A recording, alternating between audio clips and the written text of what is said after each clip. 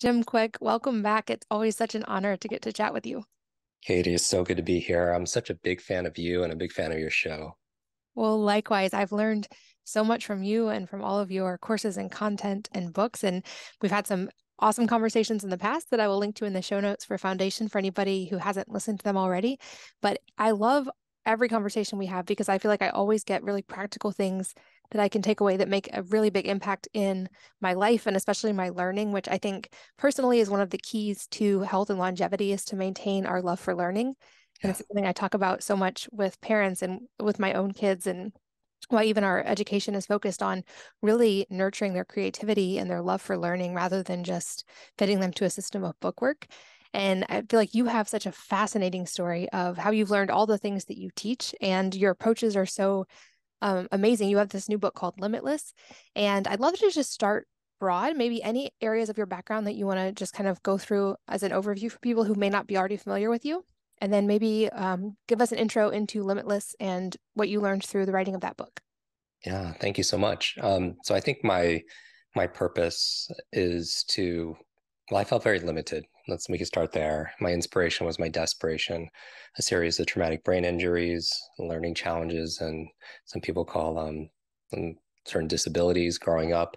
What, what was a challenge, um, and because of it, I had issues around uh, belief in myself and esteem issues and confidence issues. I was like paralyzed by the thought of being called on in class, and took me an extra few years to learn how to read. And I somehow, you know, through in elementary school got this label of as the boy with the broken brain and that was kind of my my identity. Um you know having been able to go and go from maybe a below normal whatever normal happens to be to that normal to uh, doing the things that i'm doing now i'm just very passionate about i would say redrawing the borders and boundaries of what's possible. I mean i really want to offer real hope and help to anyone who's was in a similar place anyone who was called uh, limited in, in some way, you know, told that they weren't enough and um, and showing them really the, the power um, that they really have and the potential that they could access by uh, learning a little bit more about the thing I'm very passionate about, which is the human brain. And so I've made it my mission to build better, brighter brains, no brain left behind. And how we do it is through our podcasts, um, through our online courses, uh, through speeches. I get to address and this is weird from someone who has was phobic of public speaking. I could be maybe in front of a quarter million people a year in total, maybe even three continents in, in one week, as you and I were just talking about right before we started recording. And um, you know, I really do believe adversity could be an advantage. That um, through challenge comes change. That through our struggles we find strength. And so, um, yeah, this is my over. I've been doing it for over thirty years now, and uh, as a as a brain coach, if you will, kind of like a personal trainer, is like a physical coach, a coach for your body. It makes you stronger, more flexible, more agile. You, helps you uh, create more endurance, more energy. Well, I want um, I want your mental muscles to be sharper. I, I want your your um, mental endurance to, to, be to be stronger. I want your memory to be um, you know enhanced and and so much more. So um, and if you might hear some of my dogs in the background, um, and uh, yeah, and so I'm I'm very passionate about helping people of all ages and stages, um, and because I've been doing it for you know a few decades now, I believe genius leaves clues. That it's not how smart you are, um, or how smart your kids are. It's more how are they smart, and um, and so I'm really passionate about helping people discover and develop their their innate intelligence.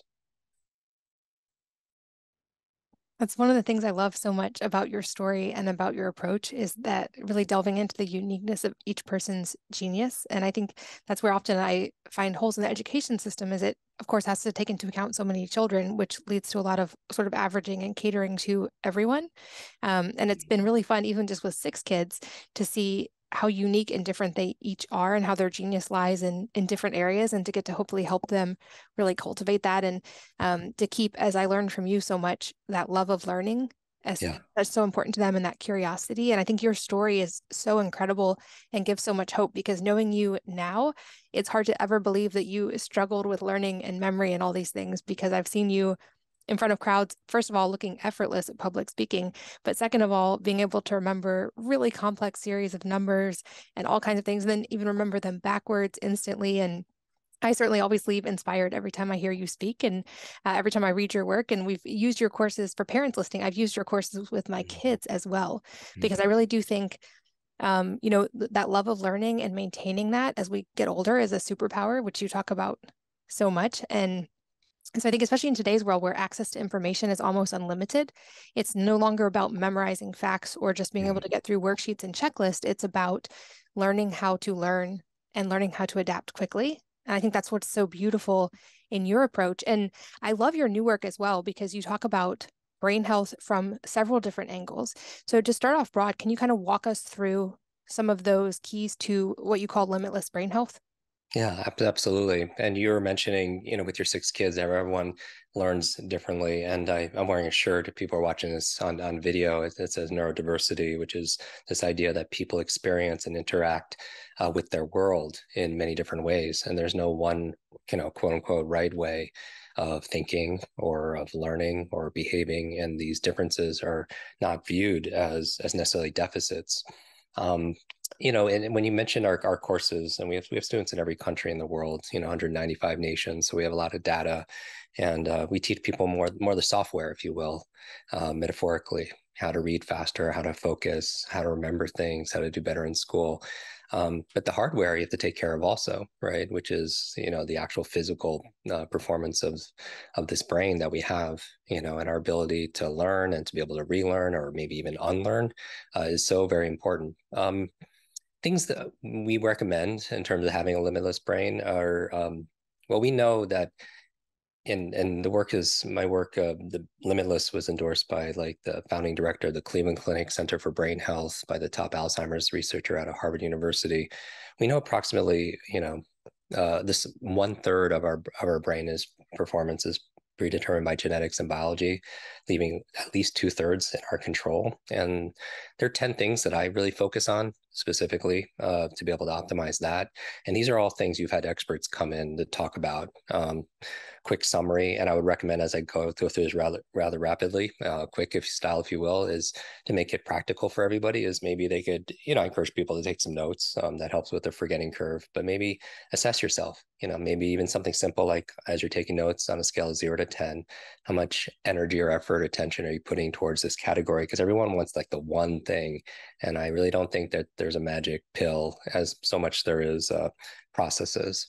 And so um, in no specific order. Uh, let's start with uh, a good brain diet.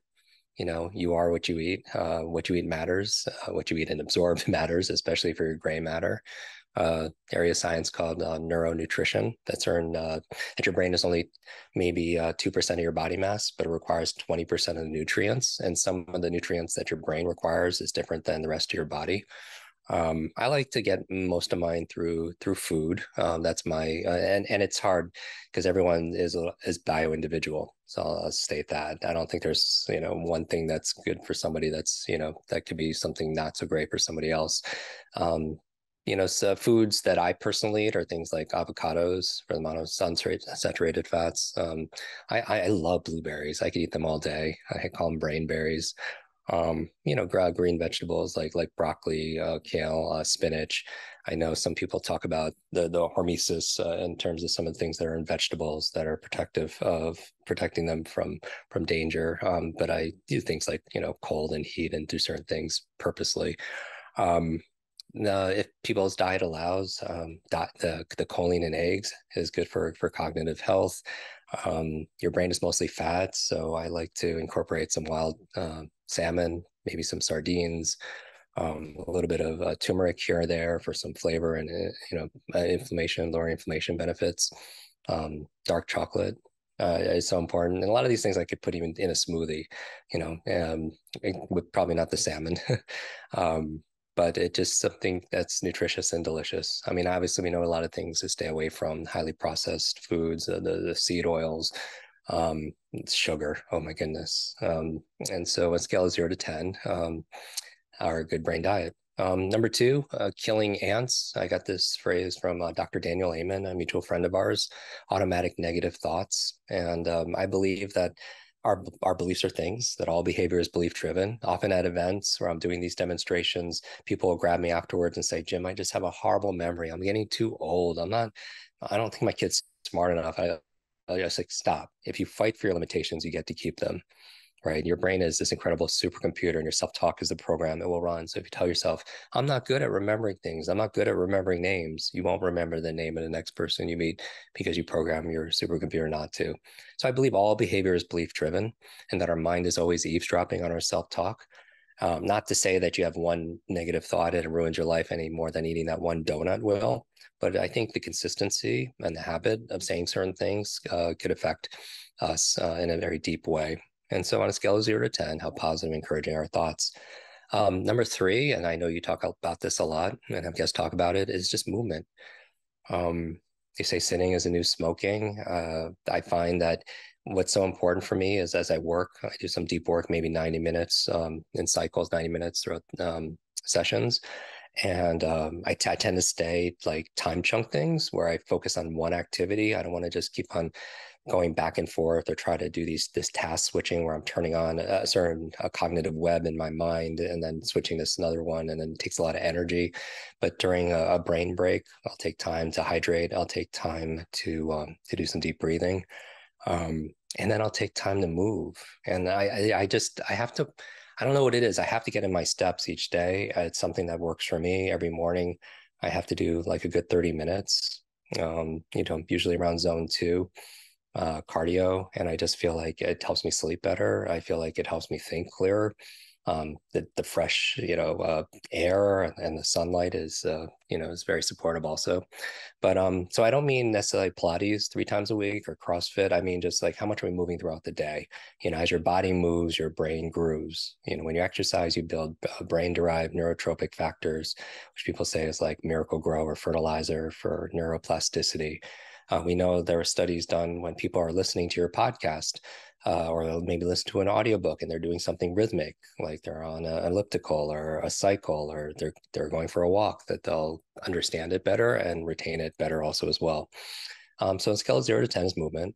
Um, number four is nutrients, brain nutrients. And again, I prefer to get it through um, through through my diet personally, but um, you know, it's, uh, maybe we need a supplement also as well, especially in the lifestyle that we have, which is really, you know, it's often fast paced and ever changing. Um, I would always go to the experts, and you've had many of them on your show, and uh, and I'd love to pick your brain on you know certain nutrients that maybe you find is is useful for um, stress management or focus, um, uh, memory, or more mental energy.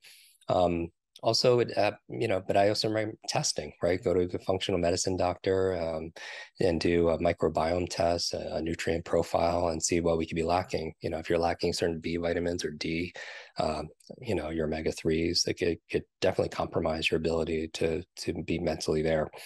Um, so that's number four. Uh, number five is uh, and i'm going through rapid fire is a positive peer group. You know you've heard this phrase in self-improvement who you spend time with is who you become um, that we are the the average of the five people we spend time most time with. That you're around four broke people, be careful because you're on your way to be number five. And um, you know we have these mirror neur- neurons in our nervous system, which is allows us to feel empathy. If you're watching something like sports, or you get to kind of feel what the character is going through in the movie you're watching or the show you're watching, um, your mirror neurons are turned on just like kids, and we tend to imitate. Um, I always say watch, W A T C H, we tend to imitate people's W as their words, their language. Uh, we are the people around us. The A are the actions. We tend to behave like the people around us that we spend time with. The T are the thoughts, and we talked about how thoughts really are things. The C is our character. I, I heard this uh, quote recently. I don't know who to attribute it to, um, but they said integrity is measured by the distance between someone's lips and their life the distance between someone's lips and, and their life. And I think it's better well done than well said for sure. But we tend to um, uh, model our character around the people we spend time with. And then um, that's the the C and the H finally are habits. And we know that first you create your habits and then your habits create you. Um, you know, you create your habits of meditation, uh, of exercise, of journaling, or you know, eating the best you know nutritious foods ever, and those habits create you back. Um, so positive peer group is so important. We all need people to encourage us, to challenge us, to cheerlead for us. And if you haven't found that person yet, or those people, I would recommend be that person for somebody else. especially to be that person for ourselves. I think part of self care is not just, uh, you know, uh, necessarily going to the spa and doing those things, but maybe it's putting borders and boundaries around the things that you hold important in your life. You know, your time, your energy, your emotions, your your heart, and part of it self love is falling in love with that person in the mirror that it's been through so much, but is is still standing you know and i so i think sometimes we don't credit ourselves with how far we've come in the process and so i think self-love is important but going back to positive peer group it's not just our neurological networks or our biological networks it's also our social networks. Like whether or not somebody uh, smokes has less to do with their biology and more to do with does their friend smoke or their friend's friend smoke. So that's number five. Um, number six is a clean environment. And this is something i'm putting extra focus on you know of recent but just i think our external world is a reflection of our internal world often and we know that when we make our bed or we clean off our desk or we clean you know, we file the folders on our laptop we have clarity of, of thought also as well and so I think it's important to Marie Kondo our mind that if sometimes if you're in a messy environment, you, it takes energy uh, and memory to be able to retain where everything is. And um, and so it, you know why use that excess energy um, and processing for that when when you don't need to. So that's number six. And then finally seven eight nine ten. Seven is a big one again that you covered on your podcast. And i, I mention your podcast a lot because I'm, I'm, an avid listener and our team listens to it also as well. My business partner is always sending me episodes. Um, sleep right? And especially when it comes to our brain health that um, and this is something i have intimate uh, experience with um, for five straight years in my and as an adult i slept uh, 90 minutes a night in total. Uh, not even uh, straight but very interrupted. I ended up um, being diagnosed with um, severe sleep apnea where i stopped breathing 250 times a night and each time counted as like 10 seconds. So that's what an episode was. If i stopped breathing for at least 10 seconds they would count it. And there was over 250 episodes a night on average and so I would wake up suffocating and I would use a CPAP and a dental device and, you know, all these different things and, and nothing really worked. Um, I had this surgical procedure at UCLA with the head of throat over there, and they did something called the U triple P, which they took out my uvula, my soft palate, uh, my tonsils, and and my uh, my sleep jumped up to four hours. You know, which is not a lot of sleep, but it's remarkably more than than ninety minutes. Um, but going back to sleep, I have since improved it with uh, with various recommendations um, from uh, sleep experts and coaches, which which I have many. Um, but everybody, again, they have. I think there's a gift in every challenge. Just like there was, uh, you know, my two, two biggest challenges growing up were learning and public speaking, and they became my strengths. Um, you know, I think there's a gift also in not sleeping.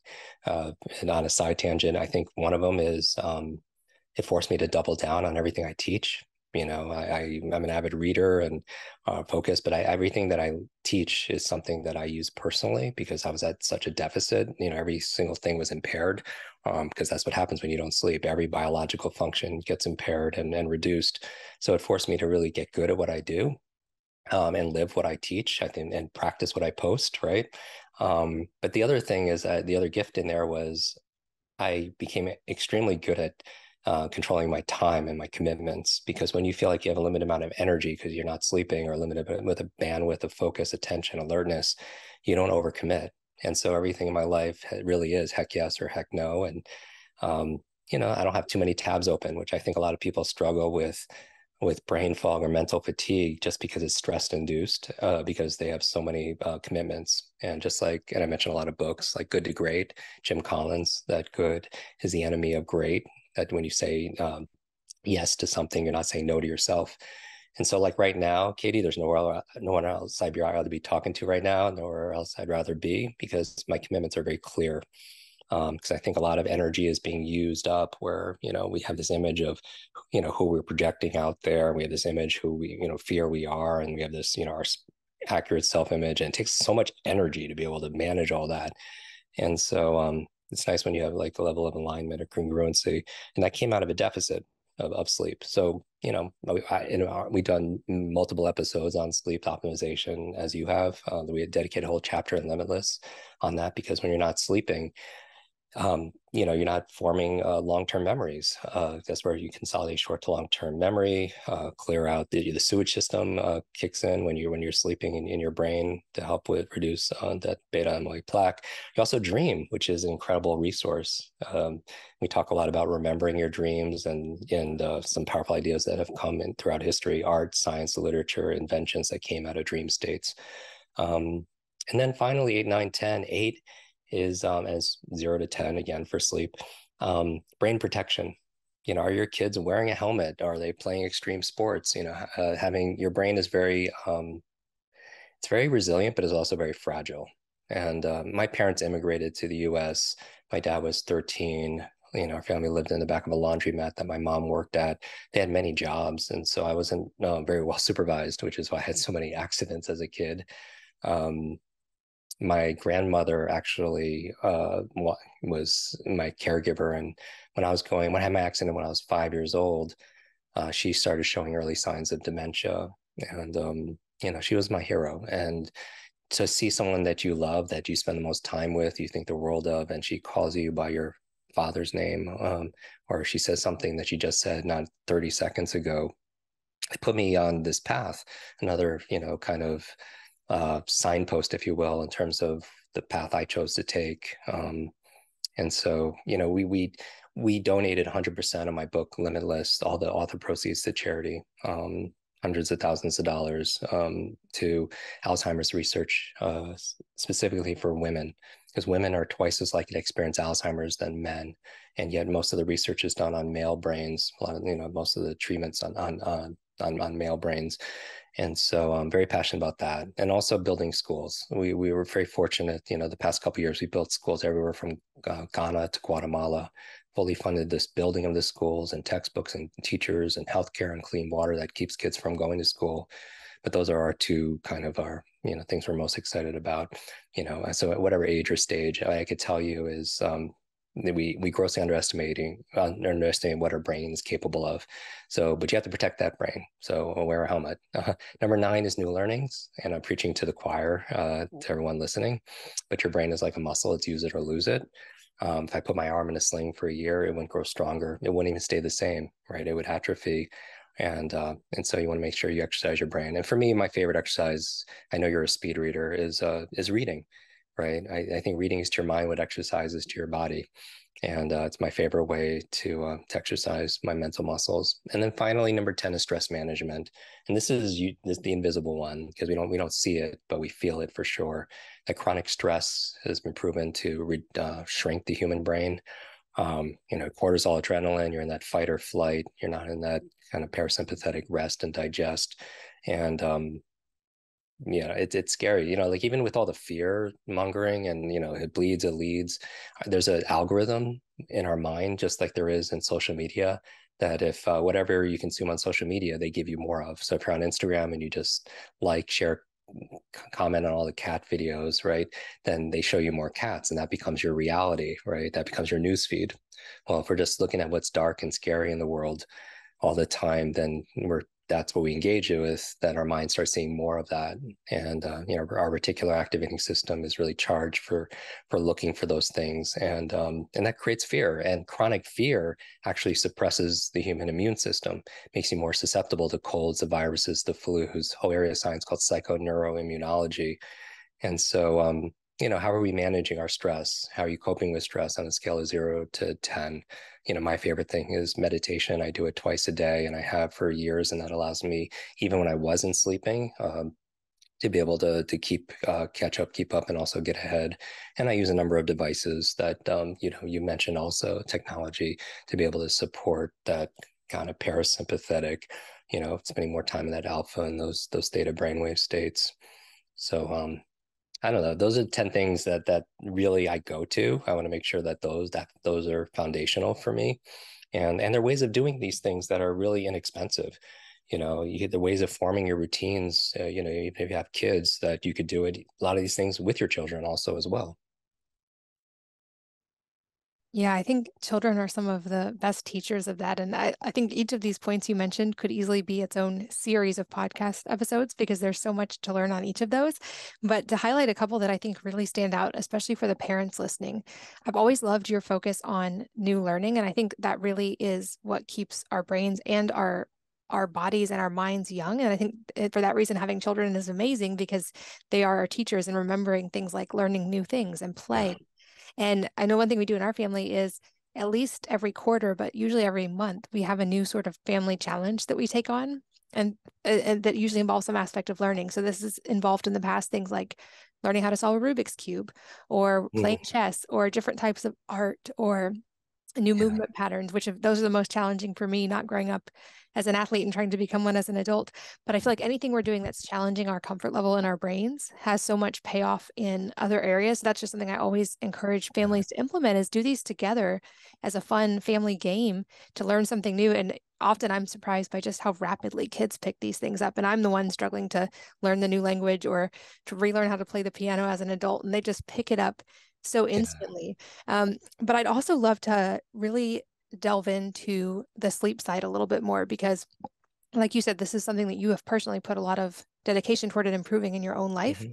and i would guess because it's a struggle for you you've tried a wide variety of things and probably have some great insight into what works and what doesn't and of course with the caveat that there's personalization in the sleep space sure. as well i know sleep is often a struggle for parents it's often a struggle for kids and as you pointed out so well if we can improve sleep that ripples into all areas of our life. And you mentioned you've improved yours quite drastically in the last few years through things you've done. So, any tips, maybe yeah. specific to parents, that we can do to help our kids develop a really great sleep foundation from a young age?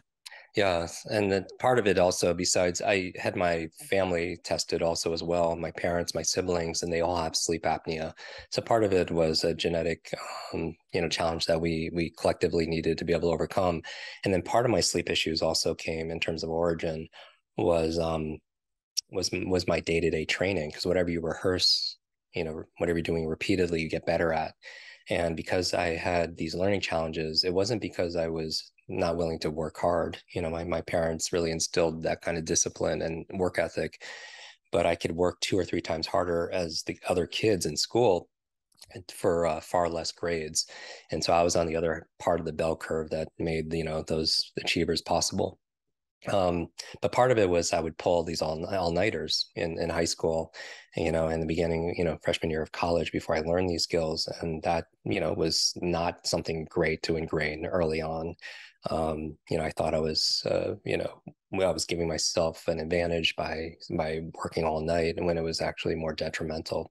And so I started developing these grooves and these habits uh, in terms of my my sleep hygiene, and that's probably not advantageous. Um, even when I you know started teaching this and I started traveling, and I could be on the road more than half of the year, w- you know, waking up in uh, different cities, and it's really bad when you're a memory expert and you forget what city that you're actually in that day.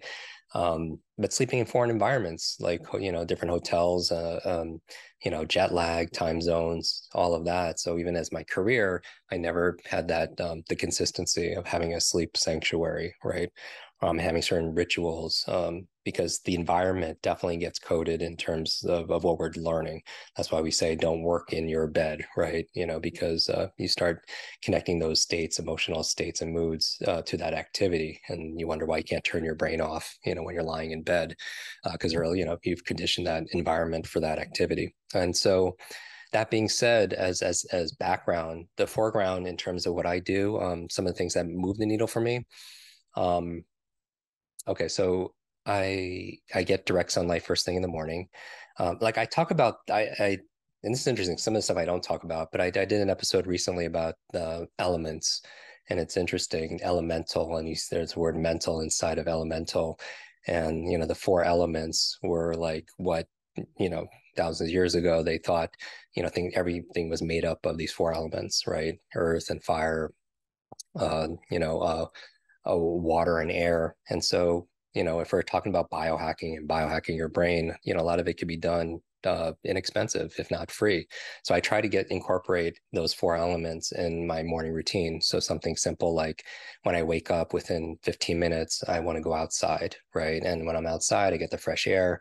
I hydrate, uh, so I get my my water because we could lose up to a, a pound of water while we sleep through respiration and perspiration and we know that our brain is, is mostly water and just a drop in in um, hydration could compromise our reaction time and our thinking speed. So i'm drinking this water and i'm and i'm literally barefoot in my yard um, so i'm getting grounded also as well and I, I watch the sun come up every single morning. It's my non-negotiable and i i think uh, you know and you, you've heard other experts you know on on your show talk about resetting their uh, circadian rhythm but I just do that and I'm outside for maybe 20 minutes and I haven't touched my phone. and it's, you know, it's, uh, you hear other people talk about it, but I just don't want to rewire my brain first thing in the morning when I'm in that relaxed state of awareness. I'm very, you know, you're very impressionable. If the first thing you do is pick up your device, you're reprogramming and rewiring your mind for distraction. Every like, share, comment, you know, ring, ping, ding, cat video is is driving you to distraction and then re- rewiring our brain also for being reactive right? You get you get a message on social media that you know a comment or something or a voicemail, and it could just hijack your mood for the day, as opposed to being proactive and designing your day. And so when I'm outside, I kind of think about, um, and this goes back to sleep, but I, I think about what would you know bringing joy to the process. And I think I'm at the age of my you know my career and my life. I just want to uh, bring more joy. I feel like that if you could do what you love or find a way of loving what you do you could add five days to every week right? You know where most people look forward to to the weekends. And so i do this thought experiment every morning while i'm outside and i just i mentally project to the future and i you know I imagine myself at the end of the day and a family member or friend asks how my day was and i say this was amazing. I crushed it today. It was incredible. Then i say okay what had to happen in order for me to say those words in order for me to feel that way and it usually is not like I did 200 things on my to do list, but it's usually, you know, three things personally and three things professionally that I want clarity on. I want to be able to hit that target. And, um, and besides having you know, that to do list, I also have like a to feel list. What are the emotions I want to cultivate today? You know you mentioned one like curiosity a level of fun uh, and playfulness because uh, kids are incredibly fast learners because they cultivate those states you know and you know there's this uh, somebody's mentioned to me at one of the events because i do a lot of games in my in my speeches and our and our training um, that hey i stopped playing because i grew older and i was like no you grew older because you stopped playing right? And i think uh, chronological age is one thing, but it's you know speaking more about the uh, the age of our mind and uh, the, the age of our spirit or, or our heart, if you will. Um, so in order to be able to win the day, you have to win that first hour of the day, you know, as we, we, we know. And so I getting the the elements first thing in the morning is so important. And then at nighttime, I'll reintroduce those elements also as well. Um, you know, I, I it's funny because it's you know like as hunter gatherers we would know it was time to go to sleep because there would be a drop in two things a drop in light and a drop in temperature. But modern conveniences you don't get that right? You have uh you know the you modern uh, uh, temperature thermostats uh you know in in homes nowadays in most homes um you know and also you have lighting right? And so we know to you know I, I don't go on my device uh, honest truth uh, the past 90 minutes in a day. I just i just don't. And not because i'm so enlightened it's just i don't i feel like i'm at a disadvantage if i do that because i i'm so sensitive to that. Um, you know we hear about blue light and how it kind of tricks our mind in thinking it's still daytime and we don't produce the melatonin um, and temperature right? And so for so i have my blackout curtain so i make it dark right? Sometimes i use an eye mask if i'm traveling um, or uh, for temperature I, for me, what works is I do my sauna um, more in the afternoon. Uh, that just works for me. Sometimes after a workout, also as well. Um, I find I think so well in a sauna. I don't know what it is, but it's um, and I've I have a traditional sauna and also a, a Sunlighten sauna, and um, I feel like I, I come up with my, some of my best ideas there. But I'll, I'll even take a warm bath uh, with some Epsom salt. I think the magnesium is it works for me. It moves the needle for me. And when you get out of those you know heated environments, your core body temperature drops, and then you know produce the melatonin, which triggers that relaxation. Um, and then I also I, I really wanted going back to bringing more joy into things and and more more fun. Um, I don't want it so structured, just like with my diet, because I find that sometimes when I was know, I've experimented with various diets, almost all of them, you know, over just testing it, you know, in terms of my biology. But I found that sometimes I was so stressed uh, about what I was eating that it kind of countered any benefit that I was getting. And same thing with sleep. Sometimes when I look at all my devices and I was looking so deeply at my my deep sleep or my REM sleep or my light sleep, uh, and measuring every little thing, um, I found for me sometimes it it um, that it almost became an obsession and it really added more anxiety to the process. Um, but I, I use, um, you know, a, a pad on my bed, going back to temperature. Also, um, some people like their their their chili pad um, or eight sleep or, or what have you, and that's uh, that's something that works for me also as well. I have a weighted blanket, and you know, I play uh, something on uh, a NuCalm device uh, for deep sleep. Eh, you know, in the background, turn off all the Wi-Fi in in our home because um, I am sensitive certainly to EMFs uh, for me personally. And um, yeah, I don't do caffeine past noon. Um, I don't eat too close to bedtime either, and I definitely don't work. You know, within you know a few hours of going to sleep. But those are some of my kind of my go go tos, and uh, you know, I'm looking forward to having you on my podcast also to talk about yours because you've probably forgotten more, you know, about these things than most people will ever learn. And so, but sleep is so very, very important. It's got to be the number one brain hack for sure. Yeah, I fully agree. And you just gave so many absolute gold tips right there. I think, and, and I love that you focus on the ones that are inexpensive or free as the mm-hmm. actual core foundational ones. Because I think often there's this tendency to get swept up in the idea of all these cool new biohacks. But at the end of the day, yeah. to your point, it really goes back to our foundational habits with sleep being sort of the cornerstone. And the ones you mentioned of getting that morning sunlight, there's just continued research showing up that supports that as really an anchor point for your circadian rhythm and your cortisol yeah. and melatonin patterns.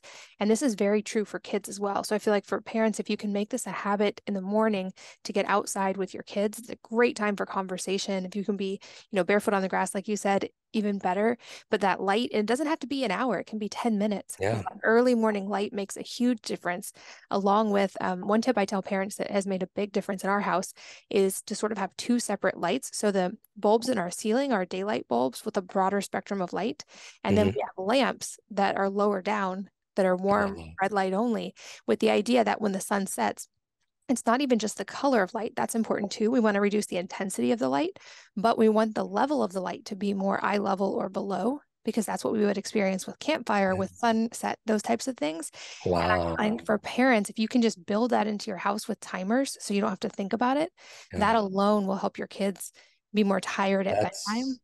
That's a huge takeaway. I'm i'm going to do that this week 100% um, because i also like i like looking at the the sun going down also you know, I make that part of the ritual to to reconnect with family also as as well. But I, I love having uh, the red light actually at a at that angle because that that makes sense to me.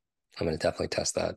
Awesome. Let me know how it goes. And, and also your tip about not eating too close to bedtime very important for children as well. Obviously, you don't want them going to bed starving, but if right. you can put a couple hours between food and bedtime, it tends to help everyone sleep a lot better. Um, and I want to also get a chance to delve into some of the more biohacky stuff as well. But I love that these are things anyone can implement mm-hmm. in their mm-hmm. home as is.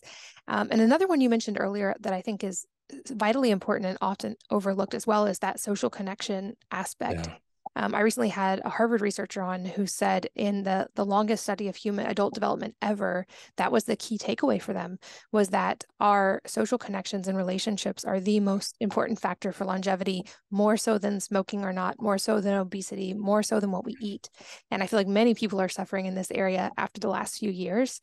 Um, and so, to your point, if you guys can be the initiator and be the one who starts this and establishes those social bonds and makes it a regular habit, I think not only is that one of the best things we can do for our own health, but modeling that for our kids can help them have that foundational aspect in their lives as well. I love that so much. Even even that you know having family meals, right? Um, you know that was something that I was you know very fortunate. Even though my parents were gone, you know before I woke up uh, to go to work and everything, and then but they would always come back uh, for for dinner and having those family meals are some of my you know uh, some of my core memories with without a doubt. I would also say it's not just what we eat it's how we eat and who we're eating with right?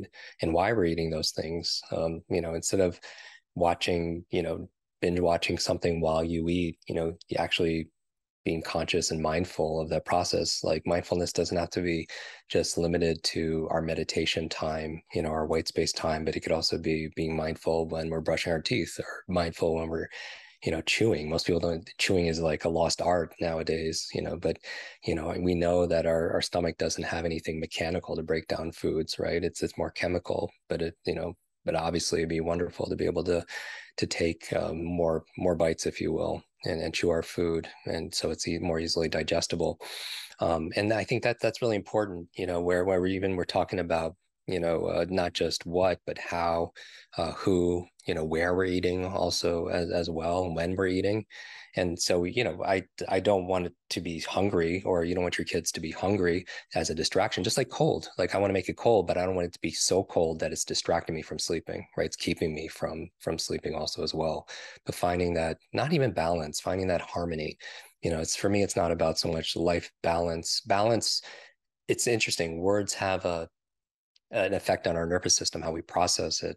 Balance, if you look it up in the dictionary, it says equal amounts of, and I don't, you know, feels like I'm on a balance beam, and that's very stressful for me. Uh, that any moment you could kind of tip or or, or fall off, and you know, I don't want to spend equal amount working as I do, you know, equal amount of time working out.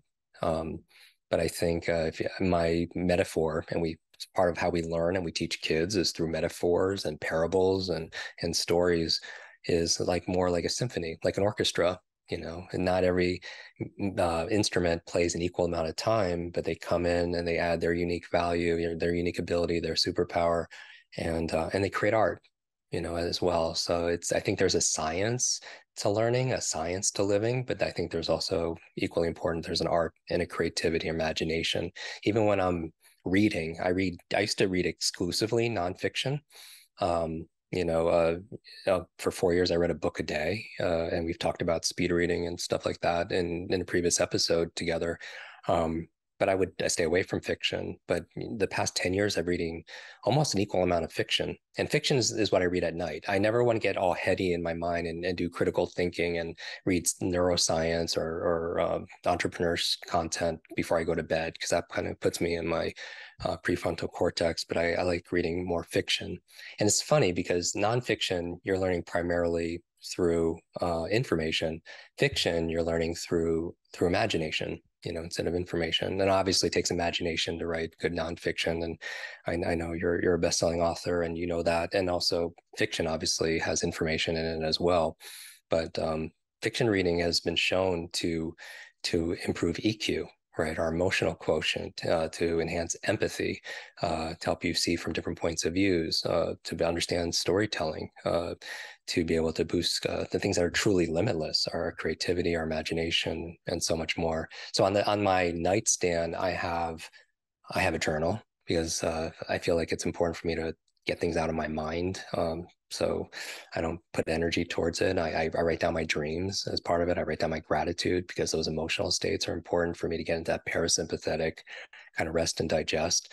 Um, I have a, a, glass of water there, and that's more because I don't drink it at night because uh, I don't want to use the the restroom uh, and wake up doing that. But um, but I'll, I'll drink it, you know, in the morning.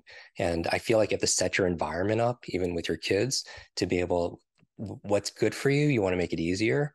And the things that are not so good for you, you want to make it more difficult. So I don't have my phone in in the in the bedroom because I just want and it's not so it has nothing to do with willpower. But if I control, if I put it into my, my bathroom, I won't I won't touch it, you know, first first thing in the morning.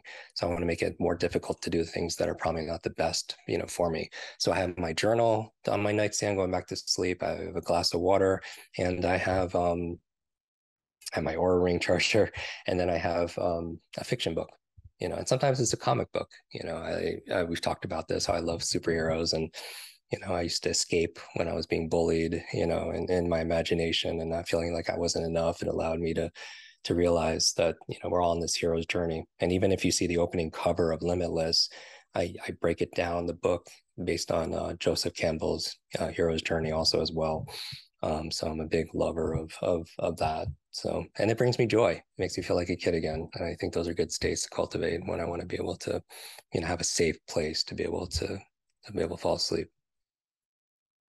like you, I focused on nonfiction for a very long time, and I feel like my kids were great teachers in learning to love fiction and even superhero stories and movies a lot more. And I think kids yeah. are so great at that imagination piece that you mentioned that we can learn so much from them. We often, as adults, want to default to that more information based learning.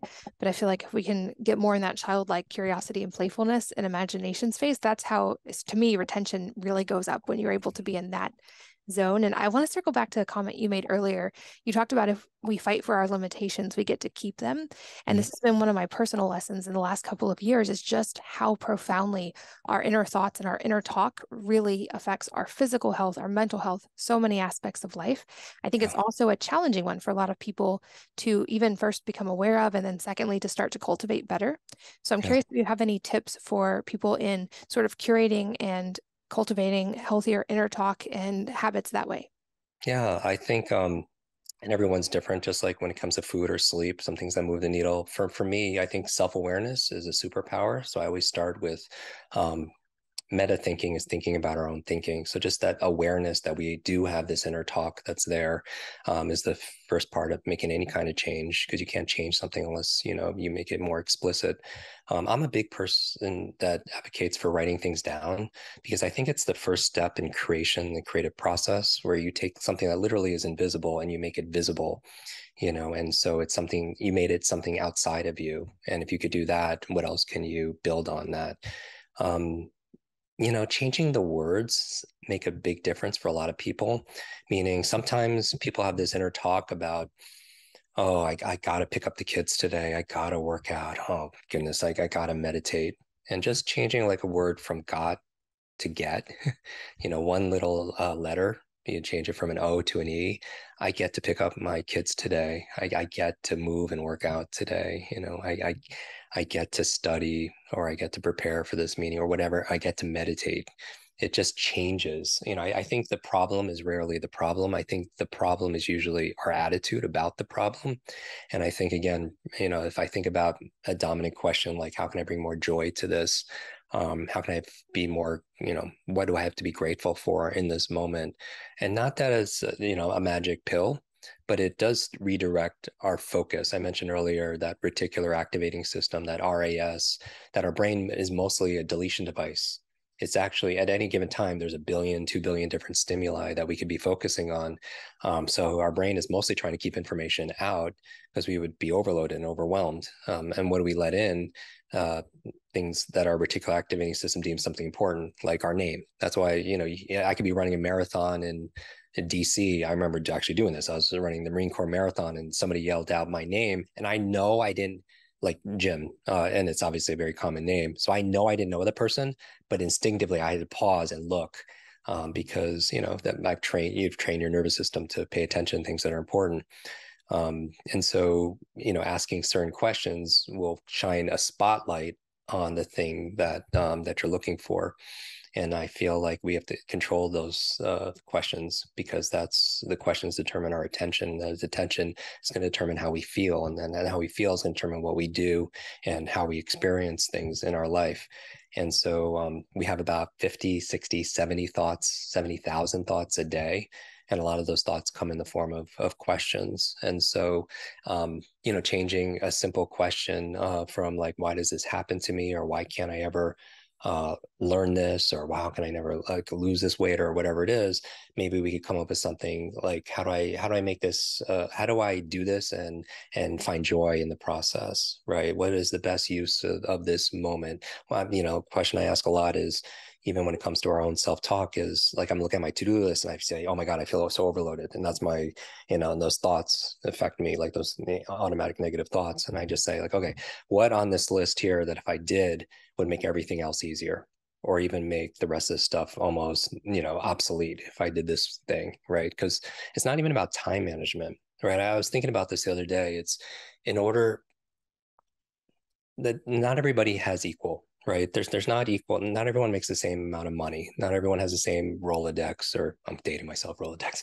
like the amount of network or contacts. Not everybody has the same level of education, but we all have 24 hours in a day. Um, but it's not even about time management. It's about mind management. It's about even priority management. You know, and I always think that the most important thing is to keep the most important things the most important things. That the most important things keep the most important thing or things the most important thing or things. Because um, we never want to do the things that don't matter, right? And so, you know, I've heard you talk about it on your podcast, um, you know, the Pareto's principle, the 80 20 rule you know, obsessed about finding that 10 or 20% of the things that really move, that give me the most kind of return because I had to when I was like, especially not sleeping. And so uh, when it comes to our negative self talk, first be aware of it. And then even if we find ourselves saying something, um, I would always say, like, I would do like a redo, and you could have like a you know like maybe put a little bit of music or cartoon music in the background and kind of rewind it, and then say something else that is uh, more aligned and more powerful. Even when I feel stressed, I did a podcast uh, called Abra because Abra I love magic. I, I learned those techniques on how to memorize a list full of random words, you know, in and out of order through a magician. Um, and I, but the difference is when I asked him, can I teach this? He was like, yeah, sure, share, share with whoever. I don't think he realized how many people I would share with, but I realized that there's a method behind what looks like magic, um, that genius leaves clues. And, um, and you could do some remarkable things when you could organize, organize your mind. Um, and then also the last thing I would say when it comes to your negative self-talk, so the, there's four, like ABRA is an acronym because I use these mnemonics even as I teach it. Um, the A is you acknowledge that negative phrase that you just said. You acknowledge it. You don't resist it because what you resist persists. If I say, don't think about this, you're just going to think about it more. So you, you acknowledge it. Uh, the B is I tend to breathe into it. So I imagine where in my body. So if I feel angst or I have a thought, I, I would say, okay, I, I like maybe a pain somewhere. Uh, I acknowledge it, the A, and I breathe into it, right? And this could be not a physical pain; it could be a pain in a splinter in my mind, and I would acknowledge it, breathe into it. Um, the R is I would release it. So with my exhale, I would release that thing that I would normally complain about or make an excuse about, or um, and then the A is I align. I realign to my truth, which is usually opposite of what you know that negative thought is or was. Um, yeah. And so I think we're all here because we want to make some kind of change. People are listening to this right now because they, they want to make some kind of change, but change in our nervous system is sometimes hard because our nervous system really is wired to grow until we experience some kind of trauma. And then our, our nervous system really wants to keep us safe. Right. And so, you know, uncertainty or, or change could be a danger. Right. And, and that's how, uh, you know, uh, one theory of how we're organized but there's only four different ways to to make a change right? You either want to do more of something um, you know i med- let's say someone meditates once a week they want to do more of it maybe get up to twice a week or they want to exercise three times a week instead of once you know you could do more of something. The second thing you could do is do less of something you know and so maybe you want to spend less time uh, on your phone or less time you know binge watching that that show. Um, and um, this is not a judgment on those activities. If you're getting the result that you want that's great. But if you're complaining about it we can't be upset by the results we didn't get from the work we didn't do. And that's just the kind of the coach of me coming out you know because i think a coach is there to challenge you to make some positive change. But you could do more of something or you could do less of something. And for me it's very binary. Or you could do you could start something right? And so maybe you've been you know hesitant to ever meditate. You think it's something that you have to quiet your mind which is absolutely not true. You can't stop your mind from thinking anymore than you could stop your heart from beating. That's what it does right? But um, maybe that's kept you from it but maybe you want to start something. And my recommendation is start somewhere anywhere but start small. Maybe it's not uh, working out an hour a day if you've never done it before. Maybe it's getting on your running shoes right? Maybe if your kids uh, don't floss their teeth, which we know oral hygiene is very important um, for for longevity, maybe get them to floss one tooth because nobody's going to stop there. Maybe maybe your kids aren't reading. Um, you know, for 30 minutes a day. If people have seen me on social media with Elon or Oprah or whoever, like people ask, like, how did you meet? We bonded over books, right? You read to succeed. If somebody has decades of experience like you do, and you put into a book, you know, which you've done multiple times, then you somebody sit down and read that book they could download decades of experience into days you know and that's an incredible um, way of cutting the learning curve. The challenge is if like a child's not studying but maybe you know reading an hour is too hard or 30 minutes too hard maybe getting them to open up the book or reading one line in the book right? Little by little a little becomes a lot. So you could do more of something. The only four ways you could change something you do more of it you could do less of it you could start something new uh, or you could stop something right? And you know, Bruce Lee has that quote saying, um, you know, where you hack away at the unessentials, and um, And I would say that maybe there's something in your life that you just want to to stop.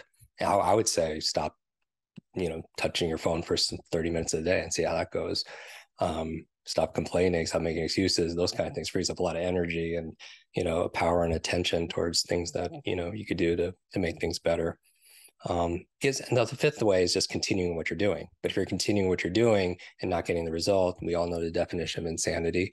Um, but I also think that whatever we're not changing, we're choosing.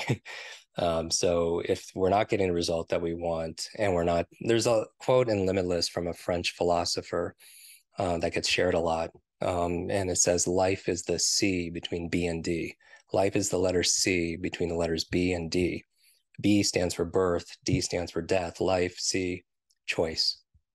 That uh, I believe that we are the sum total of all the choices we've made up to this point, good, bad, or indifferent. You know, what are we going to eat today? Where are we going to live? Who are we going to spend time with? All the things we, you know, talked about. Um, but you know, when it comes to choices, I believe that these difficult times they could distract us. These difficult times can diminish us, or these difficult times they could develop us. But we we always decide. And I think one of the most important things with with kids is reminding them of their own agency and their own uh, responsibility. I, I, mentioned this in, in the podcast that we did um, years ago, introducing. Um, uh, I was going out to dinner with Stan Lee, and Stan is like the the person I wanted to you know meet and spend time with, and uh, he wanted to meet another individual, and uh, I pick him up, and I had to ask him. I was like, you know, you've you made all my favorite superheroes, but who's your favorite? And he says, Jim, my favorite is Iron Man. And he says, uh, Jim, who's your favorite? And he had this Spider-Man tie on. And I said, Spider-Man. And he, without a pause, in his iconic voice, he goes, with great power comes great responsibility, right? And we all know that. But um, I don't know if it's because of the injuries I had um, to my brain early on, but I tend, even when I read or hear something, I tend to reverse things pretty often. And uh, I heard something different. I was like, you're right. With great power comes great responsibility. And Stan, the opposite is also true. With great responsibility comes great power. When we take responsibility for something, we have great power to make it better. Um, and, you know, that's what I would probably tell like the 10 year old, you know, little Jim, you know, that, you know, we are responsible, that maybe our environment and our experience shaped us where we are, but we are 100% responsible, you know, for today and and tomorrow. Oh, so many things within that that could be their own entire episode. But I love the focus of reading. I think of Naval's quote that read what you love until you learn to love to read. And I think of your story and comic books being such great teachers for you. And I think often parents want their kids to read school books or specific books that they think are going to help teach them specific lessons. But I think mm-hmm. circle back that imagination, whatever story they love, can be such a teaching tool. And that's a lesson for adults as well. Um, I love the reversal of that Spider Man quote. It's something I say to my children often, also in parenting them, is that if you want great freedom, great power, but that comes with great responsibility. And to the degree that you show me you're responsible, I have no desire to restrict your freedom and your power. Yeah. Um, I also love how you talked about those internal statements and questions we make. I think this might be the most pivotal thing I've done for myself in the past five years is learning to change those things. Like to your point, instead of why can't I lose weight, to a how question of how can I make this so fun and so easy? Yeah. Um, I think there's also a special power behind any statement that starts with I am. And so I stopped saying I am sick and I started saying I am healing. I think mm. little things like that that seem so small really do have such such big payoff over time. And that's something that is a slow process to learn, but pays dividends throughout life. And especially if we can teach that to our kids as they're young, uh, is such a superpower to them. And I know I could learn from you all day long, and I hope we will do many, many more episodes together. I'll also link in the show notes to all of your books and your courses, which I highly recommend. We use them as part of our homeschool program, actually, mm. because of this idea that learning and love of learning is a superpower, and you encompass this in such fun ways that we've done as a family. So, so much gratitude to you for that. Um, but a couple last questions for this episode before we hopefully do yeah. many more rounds. The first being, you're such an avid reader. Are there yeah. any recent or ever books that have had a really profound impact on you that you would recommend? Oh goodness. Um yeah, I mean I, I read every single day. It's just I, I run and I read. That that's my thing. I have to do something physical and something mental. Um goodness, some books that really changed my life early on. Um, I got on this path when I was 18 years old. Uh, a mentor gave me a number of books to read um, and challenged me to read one book a, a week. And some of those books were very early personal growth books. So some of those iconic books were like by Napoleon Hill, uh, like Think and Grow Rich, uh, Norman Vincent Peale, The Power of Positive Thinking um, you know, iconic books that I that I've read, you know, more recently, or you know, we were, are preparing for for podcasts. You know, I like to read the books of you know our guests, um, so I could be intelligent um, and and learn also as well. And um, and it's wonderful. I, I, think it's you know the fact that you've hosted and you've had so many episodes and you've had you've been blogging for years before people were blogging and you have this you know big on the presence. Uh, you do it because of what you learn, but you also do it of how you could share with with other people. You know also as well. And so I, I have a to do list, but I also have a not to do list, and I also have a to read list. I could look at my shelves, and I don't know if uh, I mean I'm surrounded by I could show you like every, like I have books upon books upon books like on every wall in this in this um, in this office, and I have a full out library um, just adjacent to this because I do a lot of reading and research, you know, also as well. Um, but uh, some of the iconic books I'll, I'll mention are things like uh, like Mindset by Carol Dweck, uh, which which is uh, you know very amazing. Um, I did a deep dive when I was writing the book on flow states, so I did a lot um, of uh, of reading in that area, especially by our, friend Steven Kotler. So uh, things like um, his Superman book, which is absolutely amazing, or Stealing Fire. Um, those flow states is something that I um, I want to be able to explore. You know, also also as much as well. So, but there's so many amazing works out there. I will link to those in the show notes as well. of course, your books too. And uh, I know you read so much and you have met so many people. So I'm really excited for the answers to this, this question, which is any parting advice for the listeners today that could be related to everything we've talked about, or it could be entirely unrelated?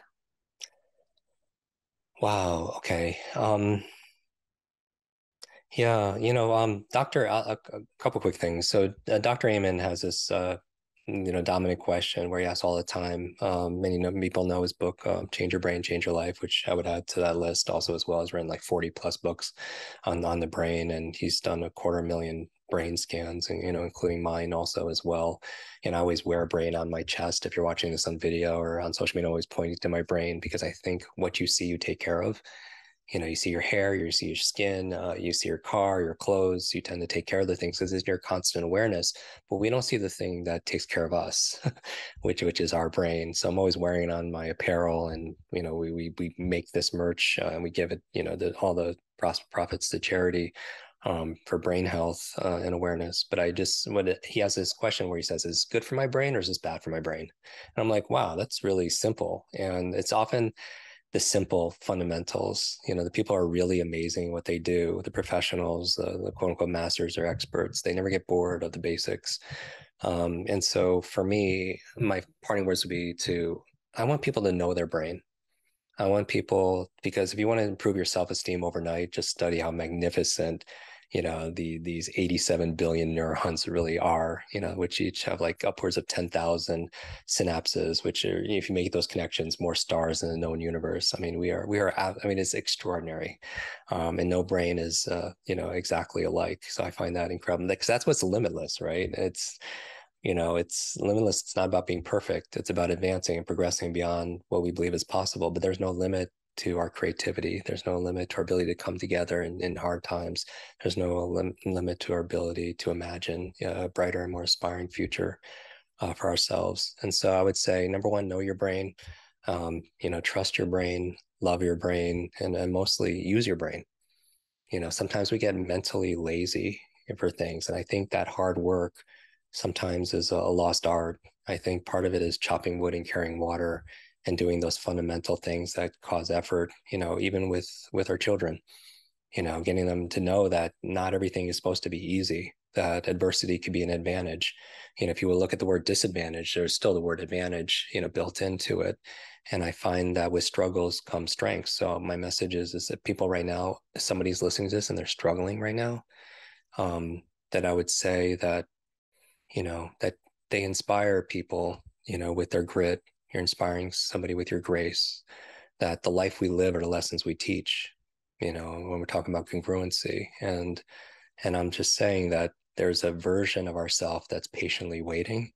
And the goal is we show up every single day until we're introduced. You know, like I got this question in, in a recent media interview. They're like, let's say, Jim, like there's one who's one or two people you want to make proud. And a lot of people say, well, it'd be my my parents, it'd be my kids, it'd be my mentor. That that's actually not what came to my mind. I mean, I, I hope that's the case, but I don't have control over that.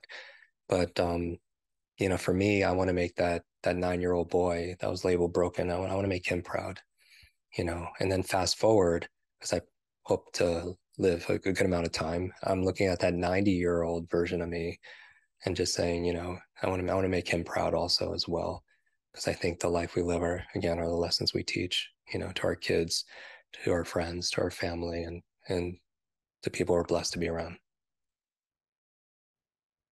I love that. And I think a perfect place to wrap up for today. But like I said, I hope there are many more episodes to come. You're yeah. one of my favorite people to talk to. And I feel like your heart is as big or even bigger than your brain, which is a huge statement because you teach so many, so many incredible things.